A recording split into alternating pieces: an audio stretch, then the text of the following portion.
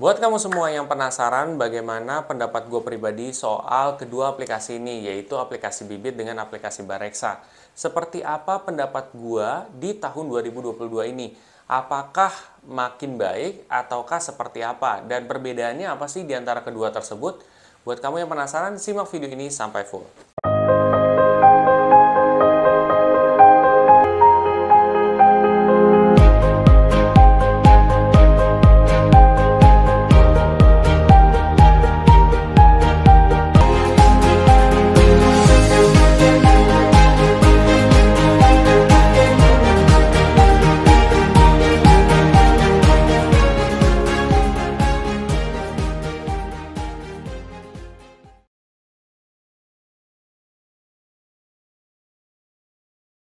Mengenai Bareksa dan juga Bibit, sebenarnya mungkin sebagai sobat investor pemula, kamu udah pernah sedikit mendengar kedua aplikasi ini.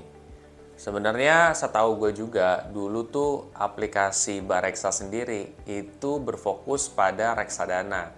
Dan sampai sekarang pun menurut gue, mereka terkenalnya di reksadana. Walaupun produk yang mereka miliki itu tidak hanya reksadana. Ada SBN, ada juga uh, apa emas ya dan lain sebagainya.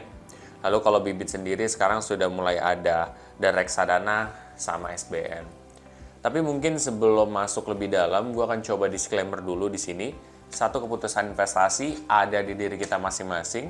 Dua investasi itu pasti mengandung resiko. Salah satu resikonya adalah penurunan. Ketiga, gue tidak pernah mengadakan titip dana sama sekali. Oke, jadi kita mulai ya. Pertama-tama mungkin perbedaannya ya dan persamaannya juga di antara kedua aplikasi ini adalah dari satu, gue akan bahas dari review di Play Store-nya. Nah di Play Store sendiri ini adalah salah satu yang biasa gue lihat.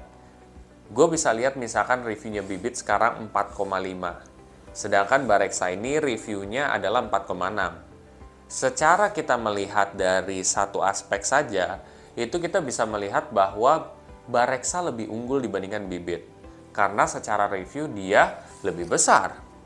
Tetapi kita tidak bisa langsung bikin konklusi uh, seperti itu. Karena ada aspek lain yang mesti kalian lihat yaitu number of downloads. Number of downloads itu ngaruh juga loh gitu untuk sebagai perhitungan kita. Nah, number of downloads dari Bareksa ini sendiri itu sekitar 500 ribu plus plus. Sedangkan kalau dari bibit sendiri 5M++, 5 juta plus plus. Nah, berarti di sini lebih unggul bibit. Kenapa? Karena lebih banyak orang yang mendownload aplikasi bibit. Nah, kalau kita benar-benar apa ya, compare kedua ini dari dua aspek ini, maka menurut gue akan lebih tinggi bibit. Kenapa?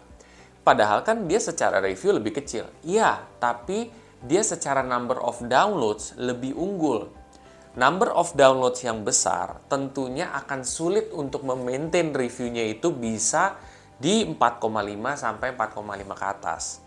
Walaupun misalkan Bareksa itu dia 4,6 di 500 ribu, ya belum tentu dia di 5M bisa segitu juga gitu. Jadi kalau kalau dirata-ratakan menurut pendapat gue untuk uh, review uh, beserta number of downloads maka akan lebih unggul BB. Walaupun kalau kita lihat secara satu aspek, Bareksa lebih unggul. Oke, itu yang pertama ya.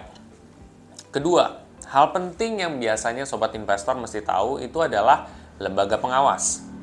Setiap investasi itu baiknya ada lembaga pengawas. Supaya apa? Supaya mereka tidak keluar dari peraturan lembaga tersebut. Apakah menjamin 100% bahwa tidak akan ada masalah di ke depan hari? Enggak. Tetap akan ada masalah, cuman kita mengurangi risiko dari investasi bodong. Nah, kedua aplikasi ini sudah terdaftar dan diawasi oleh OJK juga. Jadi sebenarnya secara uh, kita lihat uh, satu aspek aja bahwa ini sudah aman. Walaupun tidak ada investasi yang 100% aman. Seenggaknya dari investasi bodong ini aman lah gitu ya. Tidak ada investasi, eh, tidak ada investasi bodong seperti itu. Lalu uh, kalau misalkan kita lihat dari aspek selanjutnya ya, aspek ketiga ya.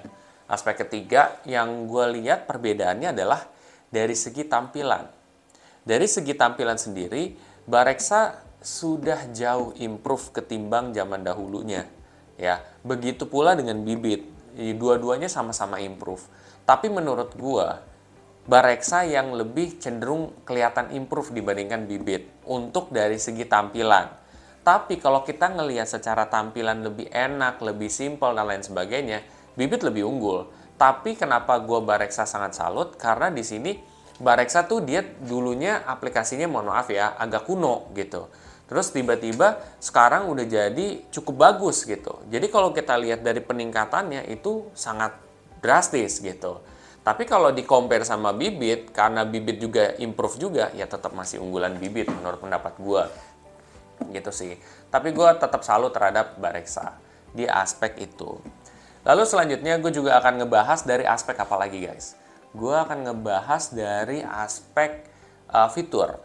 Fitur ini merupakan salah satu aspek penting juga buat sobat investor tahu nih sebelum memilih aplikasi reksadana, aplikasi investasi lah.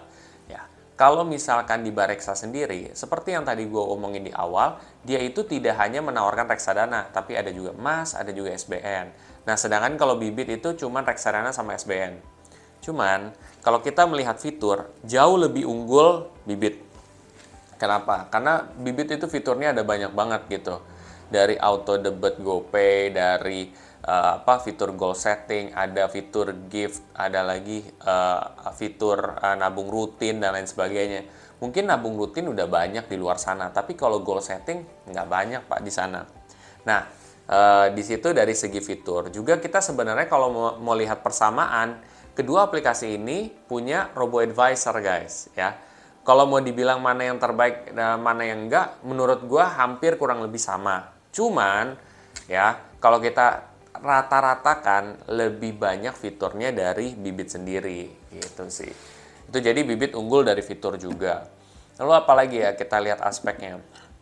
Terus kalau dari Bareksa ya, keunggulan Bareksa menurut gua adalah dari segi jumlah reksadananya jumlah reksadananya itu sangat banyak guys. Jadi kalau kalian compare terhadap bibit ya jauh lah gitu. Karena tujuan mereka adalah supermarket reksadana. Sedangkan bibit itu menseleksi aja reksadana yang bagus berdasarkan track record masa lalunya.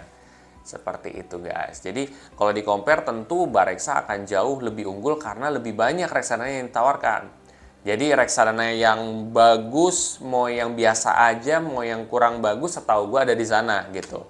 Nah, bukan berarti gue menjelekkan atau apa yang enggak, tapi maksudnya memang kan ada yang supermarket reksadana, ada yang memang dia tuh uh, menselektif banget reksadana yang makanya kenapa reksadana ini nggak ada di sini, nggak ada di sini.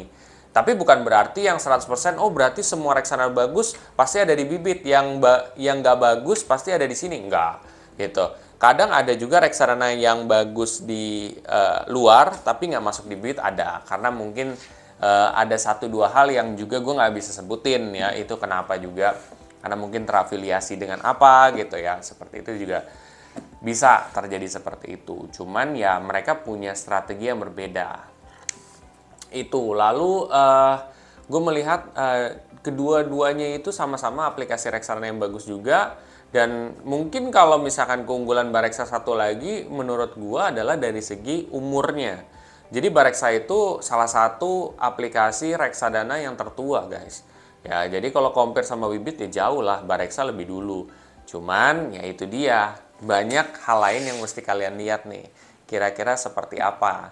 Cuman itu tadi merupakan keunggulan dari Bibit dan Bareksa juga. Semua balik lagi kepada kalian. Kalian nyamannya di aplikasi mana? Tidak ada yang lebih baik dan tidak ada yang lebih buruk. Semua kan balik lagi ke persepsi kalian. Kalau saya milih ini ya udah, kalau mau milih ini juga nggak apa-apa. Oke sobat investor semua, setelah ini apabila kalian termotivasi untuk belajar lebih dalam lagi soal reksadana, kalian bisa cek aja di playlist investor pemula. Nanti kalian bisa cek seminar investasi reksadana.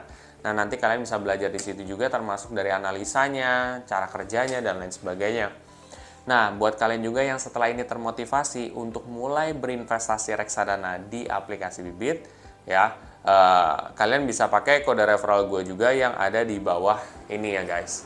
Nah, tetapi kalau kalian mau dapat uh, cashback reksadana 25.000, kalian bisa top up dua, uh, top up 500.000 di Robo Advisor. Tapi balik lagi itu terserah kalian. Kalau kalian mau, silakan. Kalau enggak juga nggak apa-apa. Tidak ada pemaksaan di sini. dan gue berusaha untuk yang netral senetral netralnya seperti itu guys Oke semuanya, bila mana kamu suka dengan konten ini, kalian bisa share aja ke sobat investor yang lain dan jangan lupa untuk subscribe, like, dan komen di video gue. Sampai jumpa di video gue selanjutnya. Terima kasih.